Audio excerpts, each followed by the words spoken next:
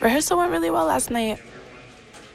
This event is going to be raising money for immigrants in their process to become United States citizens. I want them to feel strength from the performance. I want them to feel excited about the future, feel like there is hope. I'm not usually nervous before performances at all, but I'm nervous about this performance just because I've obviously never sang these songs on like a mic before. The most difficult part, like when I started my career, was turning that energy on when I didn't want to. I had to kind of learn how to be in that moment and just fully perform my music.